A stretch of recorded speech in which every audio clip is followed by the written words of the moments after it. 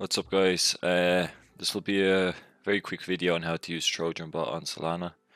I just thought I would make a long form video instead of a short as there's only so much you can explain in a short video. So to get started you want to go to this here Menalos at TrojanBot or you can click the link in the description of this video and use my link. It's an affiliate link so I'll be transparent but you will get 10% off trading fees if you use my link, which actually adds up if you're trading constantly. So once you've clicked here, you want to click on start and it'll bring up your dashboard. So it'll show your contract address and your balance. And we need to do a few settings to optimize this bot so that we can make the most amount of money. So the first thing we want to do is go into settings over here. And here you can select either fast or turbo. Now, these are fees. As you can see here, it says set your preferred priority fee to decrease likelihood of failed transactions. So I'd recommend fast if the coin's been out for more than four hours. But if you're trading coins less than four hours, I'd, I'd genuinely pick turbo because the volume and your transactions might fail and you might get in at a wrong price. So yeah. Next we want to do is buy settings. Now here you can select your custom amounts. So I have it 0 0.1, 2, 3, 4, and 5.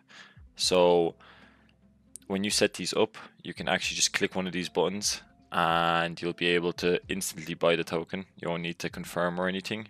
And we want to have the slippage at 5% as it's a healthy balance. You don't want it too high because then you're going to lose money.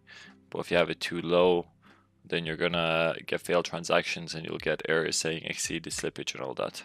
So this is all preference, but slippage keep at 5%. Now on the sell settings, you want to do the same as well, put the sell slippage to 5%. I, I've tested different numbers on 5.5 for me works the best. Now you can also test yourself, but I feel like these are the best settings for me. And then these are the amounts. So you can you can set two amounts only. So I have 50% and 100%. So if I click this button, I'll sell 50% of my tokens. And if I click this button, it'll sell 100% of my tokens. So that's the way I like to have it set up anyway. Next, we have MEV Protect. So you can enable it for buys and sells. And that basically enables the setting to send transactions privately and avoid getting front run or sandwiched. Now, I would recommend having this on but there will be a fee associated with it. So I actually have it off, but MEV protection is good. It's it prevents sandwiching and yeah, this is personal preference, but as a new trader, I would have MEV protection on. I think the fees are like 0.0075 Solana per trade, so per buy and sell. So yeah, it's up to you, but for a new trader, I would recommend you keep those two on. Auto buy, auto sell, I don't use these, but basically it works as you paste in a contract here and automatically buys. You don't have to confirm anything, it just instantly sweeps the liquidity. So I don't use auto buy, auto sell. Confirm trades is basically you'll need to confirm your intention to swap by clicking the buy or sell button. I usually actually have this off. I just want to get in as fast as possible profit and loss values is good if you want to see how much you've lost on a coin or gained on a coin. So I'd recommend keeping this on. Chart previews basically shows when you paste in a con contract address, it will show you a chart with it. I don't like this as I usually look at the chart on Dex Screener, so I feel like it's kind of useless for me. It just clutters the Telegram bot and everything, so yeah. So let's see uh, how it works. So if we just get a random address here from my soul scanner and go back into the bot, if we click on buy and we paste in the token symbol or address, it will automatically pull up this. Now, obviously I don't have any Solana in this wallet, but it'll show your balance, which is empty, the price, liquidity, market cap, and obviously the change in the last 30 and 24 hours.